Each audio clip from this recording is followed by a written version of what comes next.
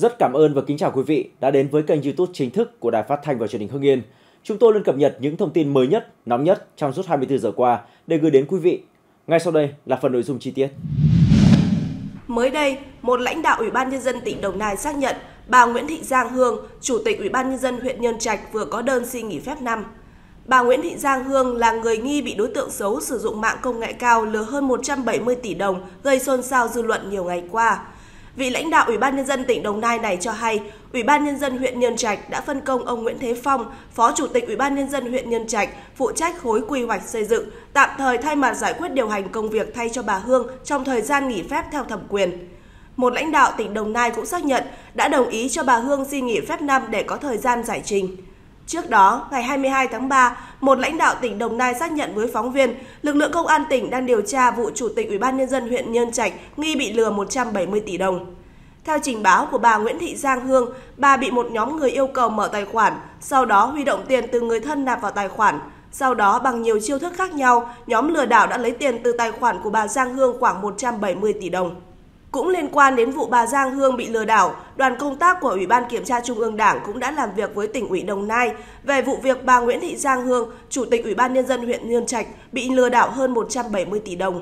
Đồng thời yêu cầu cung cấp hồ sơ liên quan đến cá nhân, đảng viên Nguyễn Thị Giang Hương thuộc diện cán bộ do Thường vụ tỉnh ủy Đồng Nai quản lý. Đến ngày 26 tháng 3, Thiếu tướng Tô Cao Lanh, Phó Cục trưởng Cục Cảnh sát Hình sự C02 cho biết, cơ quan điều tra của Bộ Công an đã nhận được thông tin – ngay khi nhận được thông tin, đơn vị chức năng của Bộ Công an và địa phương tích cực điều tra, khi có kết luận sẽ công bố, Thiếu tướng Tô Cao Lanh nói. Trong khi đó, lãnh đạo Cục An ninh mạng và Phòng chống tội phạm sử dụng công nghệ cao A05 thông tin hoạt động lừa đảo chiếm đoạt trên không gian mạng không phải mới nhưng ngày càng tinh vi. Theo lãnh đạo Cục A05, trước đây cơ quan chức năng tập trung phòng chống trên mạng xã hội, nhưng gần đây xuất hiện một số ứng dụng lừa đảo, Hiện A05 đang tập trung tuyên truyền cho người dân để nâng cao cảnh giác đối với loại tội phạm này. Ngày 1 tháng 4, chị TNTN 44 tuổi công tác tại Thành ủy Quảng Ngãi đã phản ánh về việc một số trang mạng đưa thông tin không chính xác, sai bản chất về vụ việc liên quan mối quan hệ giữa chị với ông VTT 34 tuổi ngụ tại phường Chánh Lộ, thành phố Quảng Ngãi. Theo chị N, tháng 10 năm 2023, thông qua mạng xã hội, ông T nhắn tin tiếp cận chị và nói rằng mình đã ly dị vợ. Vì bản thân là mẹ đơn thân nên nghĩ chuyện hẹn hò với ông T cũng là bình thường. Sau một thời gian hẹn hò, tôi có phát hiện ông T vẫn nhắn tin qua lại với vợ cũ là chị PTT nên tuyên bố chấm dứt quan hệ. Sau đó, ông T đánh tôi bầm tím mặt mày và hâm dọa nếu chia tay, ông sẽ sát hại tôi. Không những thế, ông T đe dọa sẽ gửi video và hình nóng của tôi với ông đến nơi tôi công tác và tung lên mạng xã hội, chị N nói. Mặt ông T hăm dọa chị N vẫn chủ động chấm dứt qua lại, nhưng sau đó đến ngày 11 tháng 3 năm 2024, ông T lại hăm dọa và cung cấp thông tin hình ảnh để vợ ông là chị PTT gửi đơn kiện chị N. Ngoài ra, theo chị N, cuối năm 2023, ông T còn mang xe máy của chị đi cầm tại tiệm cầm đồ với số tiền 21 triệu đồng. Sau đó, chị phải bỏ ra số tiền 22,7 triệu đồng để lấy lại chiếc xe. Toàn bộ việc này đều có ghi âm tin nhắn làm bằng chứng. Sâu chuỗi lại sự việc, tôi nhận ra bản thân mình đã bị vợ chồng ông T cố tình dăng bẫy tiếp cận nhằm lừa đảo chiếm đoạt tài sản. Hết lần này đến lần khác mục đích của họ là chiếm đoạt tiền của tôi. Đã vậy, một số thông tin lan truyền trên mạng không đúng bản chất vụ việc khiến cuộc sống của gia đình bị ảnh hưởng rất nhiều, chị N nói. Cũng theo chị N, sau khi phát hiện hành vi của ông T, chị đã làm đơn tố giác tội phạm đối với ông T đến cơ quan công an thành phố Quảng Ngãi. Công an thành phố Quảng Ngãi đã mời tôi lên làm việc, chị N cho biết. Trong khi đó, PTT Vợ ông NTT cho biết bà rất bức xúc việc chồng mình và chị TNTN có quan hệ bất chính, ăn ở với nhau như vợ chồng, dù cả hai vợ chồng đã có với nhau ba đứa con. Khi phát hiện chồng ngoại tình, bản thân đã sốc, dẫn đến động thai và phải nhập viện cấp cứu. Trong khi đó tôi đã nhiều lần liên hệ để ngăn cản, nhưng bà TNTN và chồng mình vẫn qua lại với nhau. Quá ức ức, tôi mới viết đơn tố cáo hành vi quan hệ bất chính của bà TNTN với chồng đến cơ quan chức năng chị Tê nói. Ông Bùi Phú Huy, chủ nhiệm Ủy ban Kiểm tra Thành ủy Quảng Ngãi cho biết liên quan đến vụ việc này, Ủy ban Kiểm tra Thành ủy Quảng Ngãi đã nhận được đơn tố cáo của chị PTT. Ngày 18 tháng 3, Ủy ban đã làm việc với bà PTT và các bên liên quan. Ủy ban Kiểm tra Thành ủy Quảng Ngãi đang xem xét hình thức kỷ luật đối với bà TNTN. Dự kiến tuần sau, Thành ủy Quảng Ngãi sẽ đưa ra hình thức kỷ luật đối với bà TNTN, ông Huy nói. Ông Bùi Phú Huy cũng cho biết thêm bản thân chị TNTN đang độc thân, nhưng khi nghe có dư luận, đơn vị đã mời bà TNTN đến để chấn chỉnh yêu cầu bà TNTN không được tiếp xúc với chồng của bà PTT.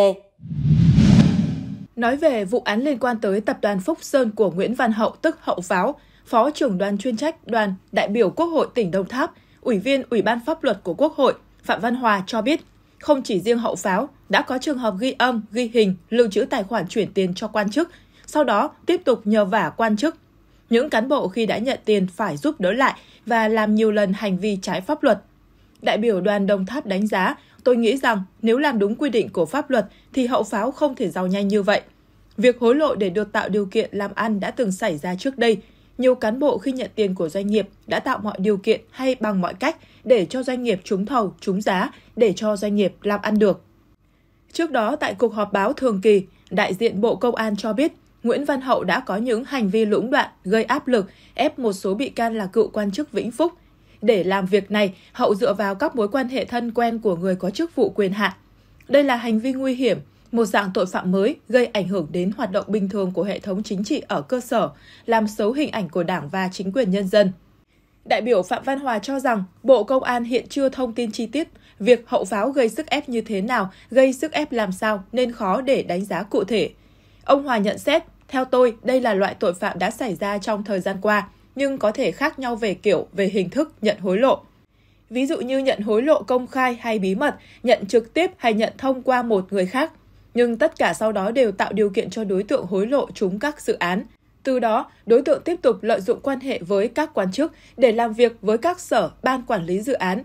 Những đối tượng làm ăn phi pháp, gian manh như hậu pháo đều phải dựa vào quan hệ để làm ăn, trục lợi – Do vậy, vụ án này cũng tương tự nhiều vụ việc trước đó. Ủy viên Ủy ban Pháp luật của Quốc hội nhấn mạnh, luật pháp Việt Nam đã xử lý nhiều vụ việc nhận hối lộ. Bên cạnh đó, theo đại biểu Phạm Văn Hòa, có trường hợp thiếu trách nhiệm gây hậu quả nghiêm trọng như không nhận tiền, ví dụ như trường hợp một giám đốc CDC vừa qua, thì có thể xử lý về mặt hành chính. Tuy nhiên, trường hợp thiếu trách nhiệm gây hậu quả nghiêm trọng và nhận tiền hối lộ thì vụ việc phải xử lý hình sự cả đối tượng nhận hối lộ và đối tượng hối lộ. Đại biểu đoàn Đồng Tháp Phạm Văn Hòa nói, trong các vụ việc thiếu trách nhiệm gây hậu quả nghiêm trọng phải tính đến việc sơ suất do yếu tố chủ quan hay yếu tố khách quan. Việc nhận tiền tiếp tay cho đối tượng hành động vi phạm pháp luật phải xử lý hình sự. Những cán bộ vừa qua đều phải xử lý tội hối lộ. Vì đã nhận tiền để làm sai, các cá nhân trong vụ hậu pháo đều khai đã nhận tiền và đều giao nộp lại để khắc phục hậu quả. Cũng theo ông Hòa, việc hậu pháo vươn vòi bạch tuộc tới các địa phương khác ngoài Vĩnh Phúc là không hề mới. Các vụ án lớn như Tân Hoàng Minh hay Nguyễn Thị Thanh Nhàn, AIC đều làm ăn ở rất nhiều địa phương hay vụ kit test cũng phủ tới rất nhiều tỉnh thành. Đại biểu Phạm Văn Hòa nhận định, bước đầu hậu pháo bị phanh phui bởi những dự án đầu tư tại hai địa phương là Vĩnh Phúc và Quảng Ngãi. Nếu không bị phát hiện, đối tượng có thể vươn thêm các tỉnh thành khác.